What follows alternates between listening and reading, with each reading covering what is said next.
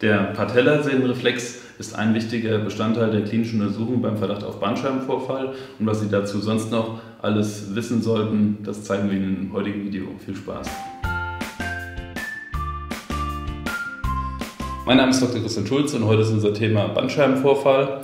Ähm, woran kann man ihn erkennen? Was muss man dazu fragen und wissen? Und da begrüße ich ganz herzlich den Hartmut. Hallo. Hallo, Katze. Also ganz wichtig, beim Bandscheibenvorfall ist letzten Endes was der Patient berichtet. Ja? Und da gibt es drei richtig akute Zeichen dafür. Ähm, das ist zum einen mal äh, ein Taubheitsgefühl in den Beinen, dass ich kein Gefühl mehr habe, Lähmungserscheinungen neu aufgetreten, auch insbesondere in den Harn- und Stuhlorganen, das heißt eine Harn- oder Stuhlinkontinenz, die akut auftreten von jetzt auf gleich. Das sind die absoluten Notfälle, die auf einen Bandscheibenvorfall hinweisen können, wenn man gleichzeitig hier hinten noch irgendwo Schmerzen im Rücken hat. Der Schmerz alleine ohne diese ganzen Sachen ist in der Regel kein wirklicher Hinweis darauf. Aber wenn es dann irgendwo kribbelt und nicht so ganz passt, dann ist das auf jeden Fall schon mal hochverdächtig dafür, ähm, dass da etwas nicht in Ordnung ist. Wie war das bei dir am Anfang? Also ich bin nachts wach geworden, habe meine Beine nicht mehr gespürt. Und ähm, Taubheitsgefühl. Taubheitsgefühl. Aber keine richtige Lähmung, oder? Keine Lähmung. Ich konnte ja. stehen, ich konnte gehen ja. und nachher kam auch das Gefühl wieder rein. Okay, ja. gut. Dann darf ich mal bitten, dich hier hinzulegen.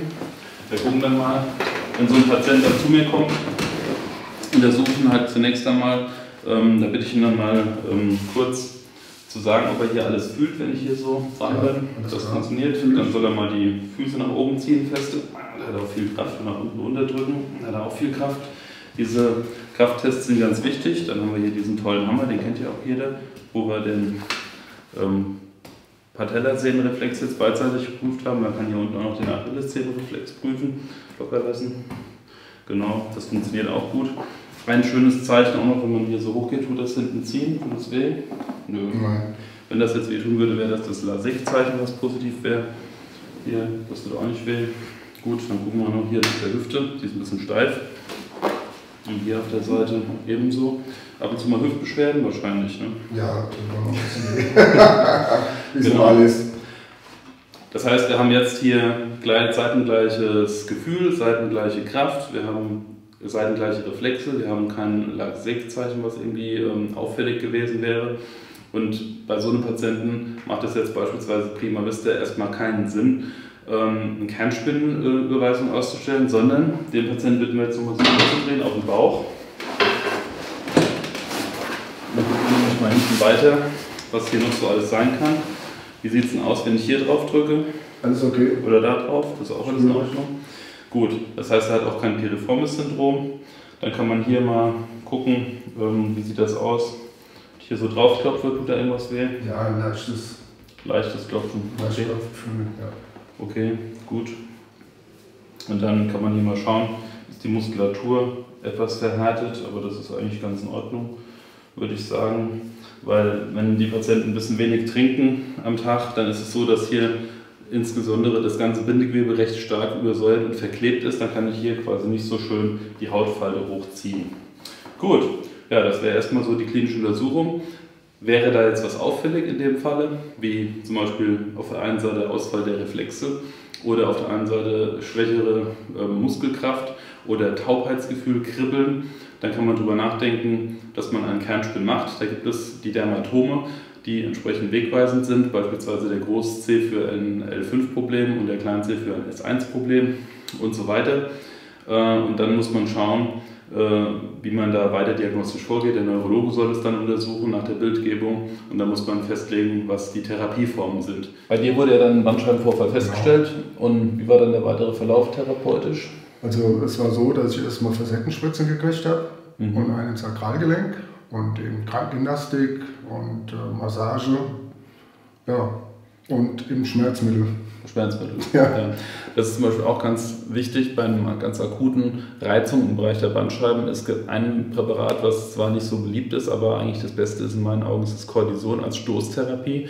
Da müssen Sie jetzt aber nicht dran denken, dass Sie da innerhalb von einer Woche 20 Kilo zunehmen oder ähm, dass Sie da jetzt ähm, maximale Nebenwirkungen mit Osteoporose bekommen. Ähm, beim insulinpflichtigen Diabetiker muss man sagen, ist es schwierig weil das eben der Gegenspieler vom Insulin ist, das Cortison. Aber ansonsten ist das in meinen Augen immer noch die effektivste Methode über sieben Tage, wenn die Patienten dann deutlich schmerzgelinderter sind. Und ansonsten kann man natürlich mit Ibuprofen sich so ein bisschen über Wasser ja, halten. Ja. Aber da ist natürlich auch die Gefahr, dass man das wie Smarties in sich hineinschaufelt mit den ganzen Nebenwirkungen für die Niere, für den Magen-Darm-Trakt und so weiter. Das ist mit Sicherheit auch nicht so hilfreich. Von daher sind so krankengymnastische Übungen, die man dann auch selbstständig macht, ähm, ganz wichtig und hilfreich. Und die Ultima Ratio, wie gesagt, die Operation ganz am Ende, wenn das alles nicht mehr hilft, sollte man machen. Es sollte aber vorher wirklich eine fundierte klinische Untersuchung erfolgen. Es sollte geguckt werden, woher kommen die Schmerzen tatsächlich. Äh, kommen sie jetzt von einem Bandscheibenvorfall oder kommen sie von woanders? Ich habe es relativ oft, wo ich es erlebe, die Patienten, die waren schon im Kernspinnen, warum auch immer. Äh, und sie haben dann Schmerzen rechts. Der Bandscheibenvorfall ist tatsächlich auch da, aber leider auf der linken Seite. Das heißt, wenn man sich nur von den Bildern leiten lässt, ist man unter Umständen auch auf einem komplett falschen Weg, was man an diesem Links-Rechts-Phänomen halt sehr gut ähm, sehen kann und auch ähm, ja, merken kann.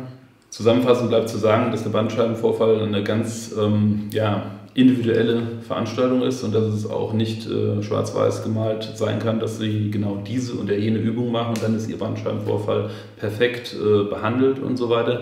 Es muss nach einer individuellen Diagnostik gefunden werden ähm, und es muss natürlich auch ein Weg gefunden werden, wie es dann weitergeht. Und deinen Weg, ähm, den haben wir ja in einem speziellen Video äh, gezeigt, der ging ja auch ohne Operation Ganz ab, genau. indem du dann durch Fitness ja, dreimal die Woche ins Studio genau. gelaufen bist für ein, zwei Stunden und daran hart gearbeitet hast, bis du dann nach sechs Monaten wieder schmerzfrei äh, zurück ins Berufsleben gefunden hast. Ähm, das ist eine ganz tolle Sache und wir haben Ihnen heute auch jetzt bei diesem äh, sehr, sehr hochwertigen Thema Bandscheibenvorfall auch bewusst keine Übungen hier gezeigt weil das wirklich eine ganz individuelle Sache ist, die Sie mit Ihrem Therapeuten klären müssen.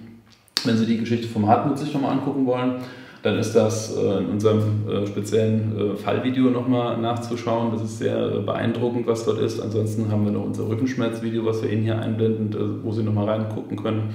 Und ansonsten, wenn Sie noch Kommentare hinterlassen wollen, dann tun Sie das gerne hier unten.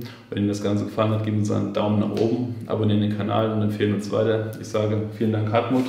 Alles klar. Und vielen Dank Danke. für Ihre Aufmerksamkeit. Viel Spaß und auf Wiedersehen. Ciao.